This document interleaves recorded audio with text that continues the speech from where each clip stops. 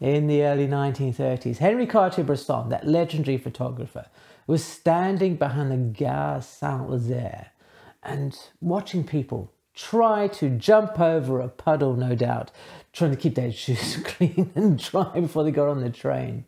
And in one split second, he raises his camera to his eye and he trips the shutter. And forever captured in mid flight is this gentleman, not quite across the puddle, not in the water, but suspended there, like a ballerina, echoing the ballerina on the poster behind him. Had Cartier-Bresson taken that picture, a fraction of a second later, the man's foot no doubt would have ended up in the puddle, breaking the suspense.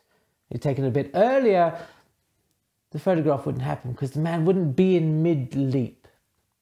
So, how do we get this in our own photographs? As it has it, the decisive moment has been talked about at length. And I first came across it when I was, you know, learning photography. And to begin with, I thought it was all about luck. That Cartier-Bresson and all the other greats of photography who managed to capture this somehow elusive moment were simply lucky. And of course, that's not the case at all, because if they were lucky, then, well, Cartier-Bresson must be the luckiest photographer in the world. And my journey to becoming a little bit more comfortable with the decisive moment really came about when I, I was working a lot as a wedding photographer. It was something that I kind of started growing into, and to begin with, I've sort of machine gunned my way through weddings. I wasn't really paying attention to anything like timing. I was just kind of reacting to things and often missing the moment. So, what could have been a pretty good photograph just became a pretty average image.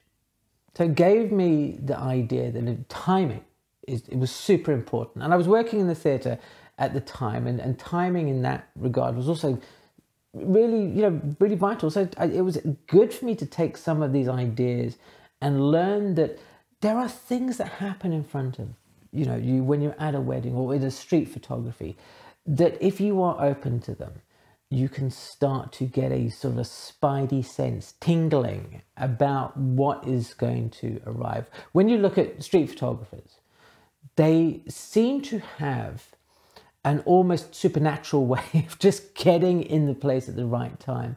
And i believe a lot of that is because they have over the years practiced the anticipation and the timing of knowing when it's just right to take the picture. One of the great things that helped me with, with learning this idea of timing was not having to worry about fussing with my camera. You know, I, I tried to kind of keep it simple. The more that I kept things simple in terms of technical aspects, the easier it was for me to concentrate on what was going on in front of me. I would go to a wedding, and if I had the moments and the times, I would walk around in the places where we were going to be and get a feel for what the light was like, what it was going to look like over here. How was the place looking?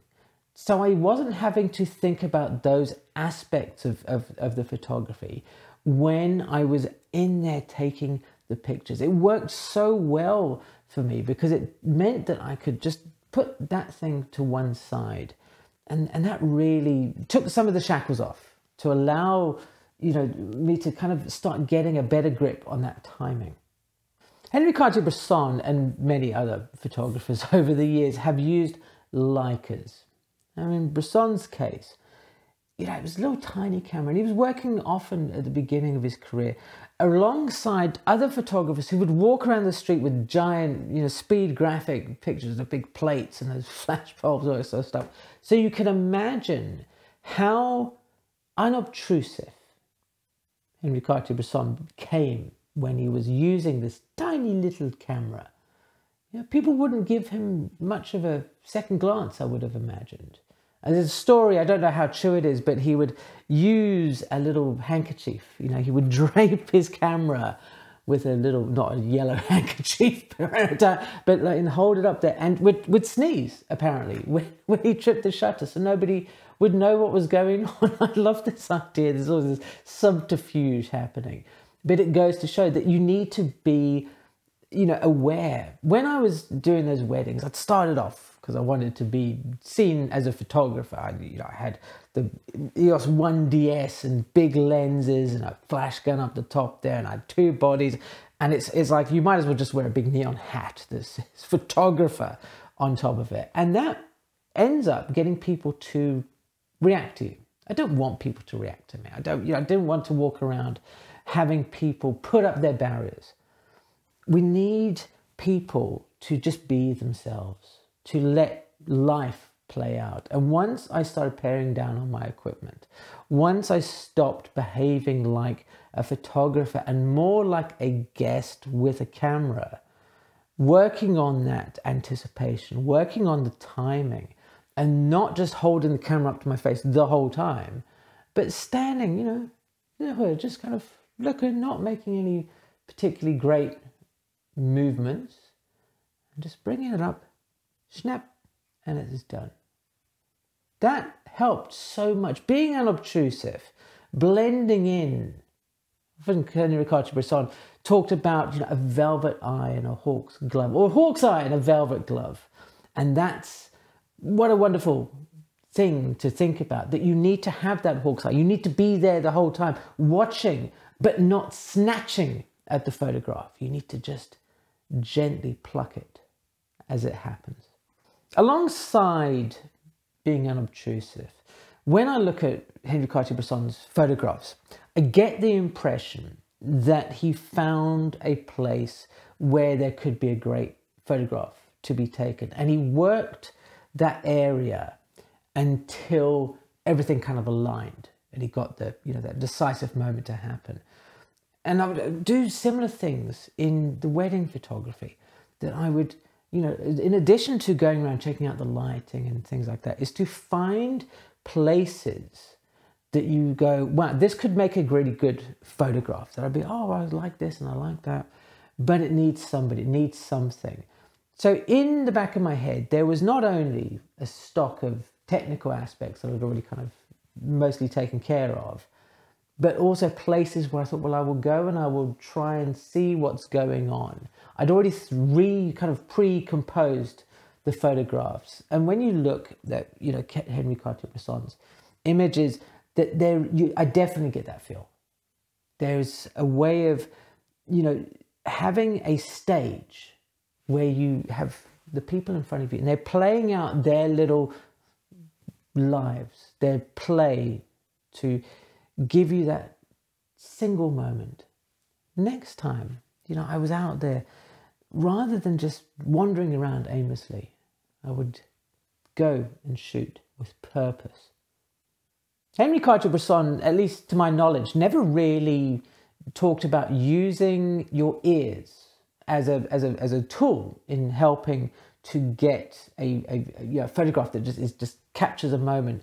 And I was told this by a great photographer who's, who imparted so much knowledge to me, a guy called Stephen Taylor from, well, he's actually from Suffolk originally, but he lives in Scotland now, I think. Uh, and if Stephen, you watch the channel, uh, shout out to you. And he talked about using your ears, specifically at weddings, because obviously there's a lot that goes on around behind you. And but it ties into being aware of the things that are happening all around. The moments that I think, define a great photograph feel like they've they've been they've come from somewhere else. And one of the, the things when you listen, you are drawn towards commotion. You can hear people laughing. If there's a lot of laughing going on, there's something going on that way. If there's a commotion, what's going on down there? Maybe there's a chance for a photograph. It's so often overlooked using your ears to try and take photographs that I really is probably that was probably one of the greatest things that I, I learned in the last sort of 10 years is just to listen. If I were to give myself some advice about finding a way to capture the decisive moment in a sense that kind of you know worked for me, then I would certainly go back to my younger self and say, look, go and stand on a corner. Take a leaf out of Joel Meyerowitz' book and just watch people come and go, ebb and flow. Think about what they're doing. Learn to anticipate movements. Don't just stand there fiddling with your camera, chimping the whole time. Sit, watch, observe, listen. And that way you're going to end up with images that may be fewer in number, but you're going to have a, a larger chance of, of images that are at that peak of, of happening that set them apart. And don't be worrying about how many just don't happen or whatever. It's so easy for you to sit and think, oh, gee, there's a body of work here. These guys were just lucky the whole time because we're looking at the, the selections of the work. Mistakes happen. Things don't always go to plan. The best way to improve your decisive moment abilities is to just get out there, to photograph, to use anticipation, to use your ears, to be unobtrusive, and to set the stage on the where these photographs can play out. John Meyerowitz is a fantastic photographer, and if you're not familiar with his work, you're in for a rare treat. So check out this video over here. Thank you ever so much for watching, and I will see you again soon.